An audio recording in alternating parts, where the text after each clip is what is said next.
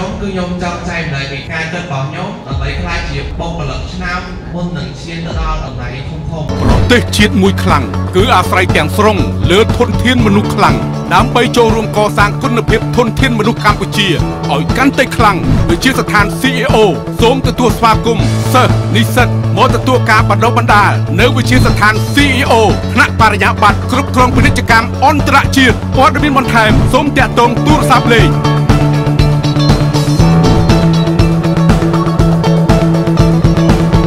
ជាស្ថាន CEO ខ្លាយជាបុគ្គលិកពូកែអ្នកដឹកនាំពូកែអ្នករកស៊ីពូកែអញ្ចឹងសម្រាប់ខ្ញុំអ្វីដែលខ្ញុំគិតមុនគេគឺខ្ញុំត្រូវស្គាល់ពីខ្លួនឯងមុនសិនថាតើខ្លួនឯងនៅចំណុចណាចំណេះដឹងប៉ុណ្ណាបទពិសោធន៍ប៉ុណ្ណាអឺយើងស្គាល់ខ្លួនឯងហើយយើងត្រូវដឹងថាខ្លួនឯងខ្វះខាតអីខ្លះដើម្បីបំពេញបន្ថែមរៀនសូត្របន្ថែមកសាងខ្លួនឯងបន្ថែមដើម្បីឲ្យខ្លួនយើងមានស្តង់សមត្ថភាពចំណេះដឹងបទពិសោធន៍អឺ បន្ទាប់ពីយើងស្គាល់ខ្លួនឯងហើយយើងត្រូវស្វែងយល់ថាតើការងារមួយណាដែលត្រូវនឹងជំនាញរបស់យើងព្រោះថាការជ្រើសរើសការងារឲ្យត្រូវជំនាញរបស់ខ្លួនឯងគឺជាកត្តាសំខាន់ព្រោះថាបើយើងធ្វើការខុសជំនាញទោះបីយើងបកកែមិនក៏ដោយក៏យើងធ្វើការងារហ្នឹងអត់បានល្អដែរឧទាហរណ៍យើងបកកែខាង sale ប៉ុន្តែយើងអត់ធ្វើការខាង sale យើងធ្វើការផ្នែកផ្សេងឧទាហរណ៍ធ្វើការផ្នែក account អីចឹងចុះការងារផ្សេងគ្នាវាអត់ត្រូវជាមួយនឹងអ្វីដែលយើងចេះទេអញ្ចឹងយើងត្រូវជ្រើសរើសការងារណាដែលយើងបង្កើតឲ្យជំនាញបន្ទាប់មកយើងត្រូវស្វែងយល់ថាតើការងារដែលយើងត្រូវធ្វើហ្នឹងវាមិនខ្លះលក្ខណៈម៉េចត្រូវធ្វើរបៀបម៉េចហើយត្រូវការឲ្យយើងនឹងចេះអីខ្លះដើម្បីធ្វើការងារហ្នឹងឲ្យល្អបន្ទាប់ពីយើងដឹងពីការងាររបស់យើងហើយយើងត្រូវដឹងថាតើក្រុមហ៊ុនដែលយើងធ្វើការឲ្យឬក៏ស្ថាប័នហ្នឹងគេចង់បានលទ្ធផលរបៀបណានៅក្នុងការងាររបស់យើងយើងត្រូវព្យាយាមស្វែងយល់ពីគោលដៅរបស់ក្រុមហ៊ុន ដើម្បីឲ្យយើងធ្វើការទៅ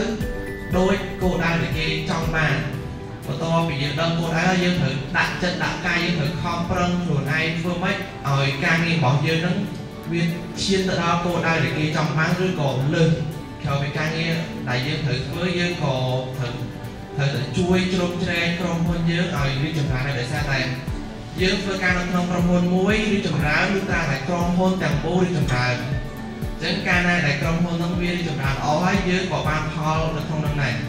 យើងធ្វើការយើងត្រូវចេះបង្កើតស្នាដៃថ្មីថ្មីនៅក្នុងក្រុមហ៊ុនដើម្បីទុកជាប្រយោជន៍សម្រាប់ក្រុមហ៊ុនទាំងមូលក៏ដូចជាខ្លួនឯងដែរដោយសារតែនៅពេលដែលយើងមានស្នាដៃល្អៗនៅក្នុងក្រុមហ៊ុនគេគ្រប់គ្នានឹងមើលឃើញពីតម្លៃរបស់យើងបន្ថែមពីលើនោះទៀតអញ្ចឹងជាឱកាសមួយដើម្បីឲ្យយើងឡើងតំណែងឬក៏មានឱកាសល្អល្អ វាថាយើងមានស្នាដៃច្រើនយើងមានបទពិសោធន៍ច្រើនយើងធ្វើប្រយោជន៍ឲ្យក្រុមហ៊ុនច្រើនប្រកបណាក្រុមហ៊ុនបាត់ជាលើកដំកើងយើងហើយអ្វីទាំងអស់នោះហើយដែលជាពៀនដើម្បីធ្វើឲ្យយើងឈានទៅដល់ជោគជ័យឬក៏បាត់ជាបុគ្គលអស្ចារ្យ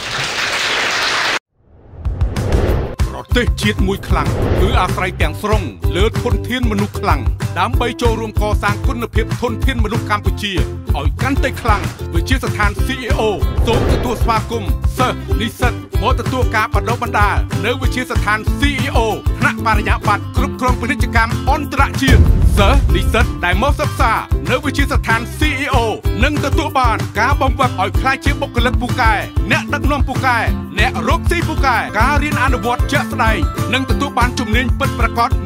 100%ការបង្វឹកដោយអ្នកជោគជ័យក្នុងអាជីពនិងអាជីវកម្មពិតប្រាកដការសិក្សាបន្ថែមលើជំនាញភាសាចិន ភាសាអង់គ្លេសជំនាញកុំព្យូទ័រជំនាញទំនាក់ទំនងនិងជំនាញនិយាយជាសាធារណៈការធានាការងារធ្វើបន្ទាប់ពីបញ្ចប់ការសិក្សា នៅពេលបញ្ចប់ការសិក្សានៅវិទ្យាស្ថាន CEO និស្សិតនឹងទទួលបានជំនាញច្បាស់លាស់អាចធ្វើការក្នុងទូនាទីជាអ្នកដឹកនាំនិងទទួលបានប្រាក់ចំណូលខ្ពស់ជាមួយវិទ្យាស្ថាន CEO យើងរួមគ្នាកសាងធនធានមនុស្សកម្ពុជាឲ្យកាន់តែខ្លាំងលើឆាកជាតិនិងឆាកអន្តរជាតិ